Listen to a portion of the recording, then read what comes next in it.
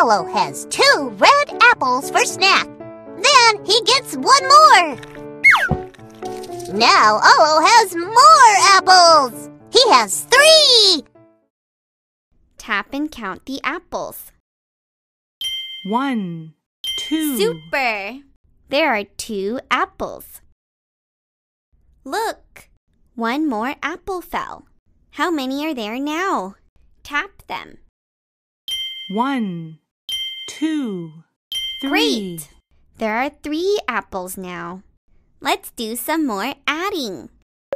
Tap and count the peas. One, You Two. tapped two peas. Drag one pea to the empty square. Good job! How many peas are there now? Tap to count them.